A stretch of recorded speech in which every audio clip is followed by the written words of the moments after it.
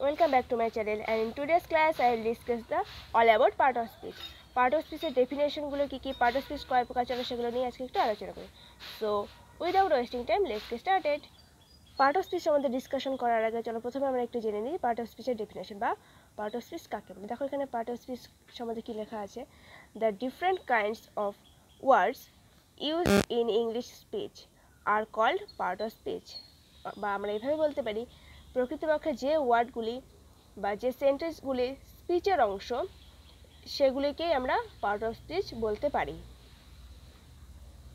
বা আমরা part of স্পিচের সংখ্যা এইভাবেও দিতে পারি যে বাক্যে ব্যবহার অনুযায়ী বিভিন্ন শ্রেণির শব্দগুলিকে আমরা পার্ট অফ স্পিচ বলে থাকি।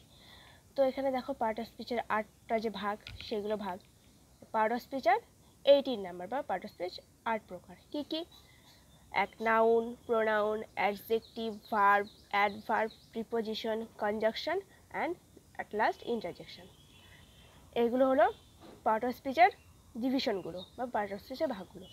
তো চলো এগুলো নিয়ে আমরা একটু ব্রিফে এক্সপ্লেন করি। একটু ব্রিফে ডিসকাশন করছি যাতে তোমাদের বেসিক কনসেপ্টটা ক্লিয়ার হয়।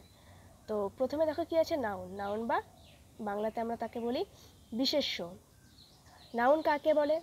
তাহলে আমরা বলতে পারি যে যার দ্বারা বা যে ওয়ার্ড দ্বারা কোনো কিছুর নাম বোঝায় তাকে আমরা বলতে পারি noun or we can say R noun is a word used as the name of person place or things noun হলো এমন একটা শব্দ যেটা নাকি পার্সন ব্যক্তি প্লেস জায়গা অর থিংস যে কোনো জিনিসের ক্ষেত্রে বসে।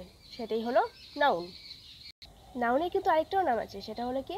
নেমিং ওয়ার্ড বা যার দ্বারা সব কিছুরই বা যার দ্বারা যে কোনো জিনিসের নাম বোঝাক না কেন, সেটাই হবে কি নাউন তারপরে কি আছে দেখো প্রোনাউন বা আমরা বাংলায় বলতে পারি প্রোনাউনকে সর্বনাম।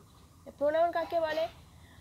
নাউনের পরিবর্তে বা বিশেষের পরিবর্তে যে ওয়ার্ড ব্যবহার করে থাকি আমরা তাকে আমরা বলতে পারি pronoun or we can say a pronoun is a word which instead of a noun মানে প্রোনাউন হলো এমন একটা ওয়ার্ড যেটা নাকি নাউনের পরিবর্তে ব্যবহৃত হয়।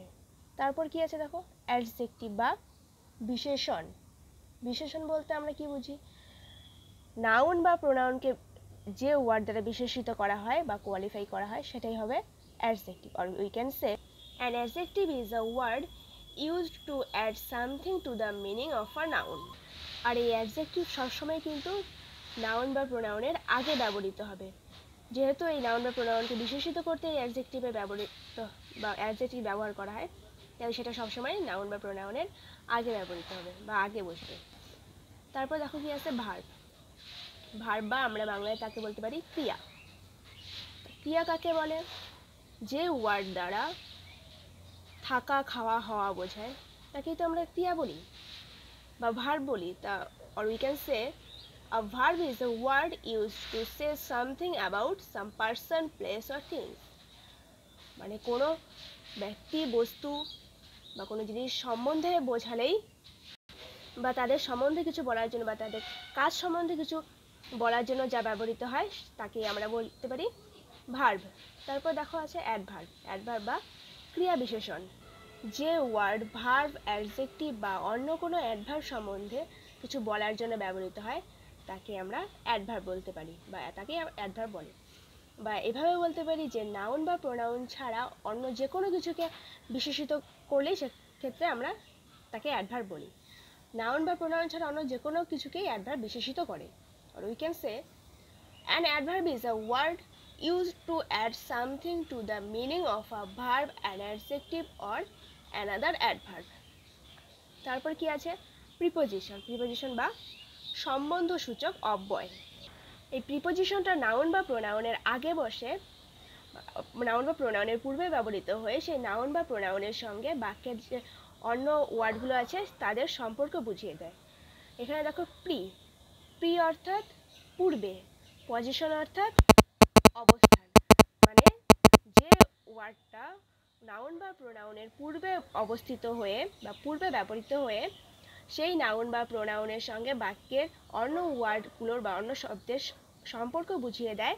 সেটাকে বলে preposition or we can say preposition is a word that is placed before a noun or pronoun to show the relation of that noun or pronoun with any other word of the sentence তারপর দেখো কি আছে? Conjunction বা সংযোজক অব্যয়। এই সংযোজক, এই কথাটার মাধ্যমে আমরা একটু সংযুক্ত হওয়ার ব্যাপারটা বুঝতে পারি। তা এটার ডেফিনেশন সম্বন্ধে আমরা কি বলতে পারি? যে শব্দ একটি শব্দের সঙ্গে আরেকটি শব্দকে অথবা একটি বাক্যের সঙ্গে আরেকটি বাক্যকে সংযুক্ত করে তাকেই বলে conjunction or we can say a conjunction is a word for joining one word to another word or one sentence to another sentence মানে একটি বাক্যের সঙ্গে আরেকটি বাক্যকে বা একটি শব্দের সঙ্গে আরেকটি শব্দকে সংযুক্ত করতে মাঝে যে ওয়ার্ডটা ব্যবহৃত হয়, তাকে বলা হয় কি? কনজাকশন সবার লাস্টেরটা কি আছে? ইন্টারজেকশন বা আবেগসূচক অব্যয়। তার মানে কি? এই ইন্টারজেকশনের দ্বারা আবেগকে বোঝাবে। যে শব্দ মনের আকস্মিক আবেগ প্রকাশ করে, তাকেই বলা হয় interjection or we can say an interjection is a word which express some sudden feeling মানে যার দ্বারাই মনের কোনো আকস্মিক ভাবকে প্রকাশ করবে তাকেই বলা হয় interjection I think part of speech সম্বন্ধে বেসিক কনসেপ্টটা তোমাদের সবাই ক্লিয়ার হবে। So that's all for today guys thank you